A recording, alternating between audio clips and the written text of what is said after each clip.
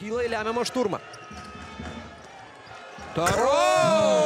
Jo plaktukas į Žalgirio krepšį. Čia Akselis Tupanas buvo nusisukęs, nepamatė Tarolio reido į e, baudos aikštelę ir kągi lieka tik 12 taškų.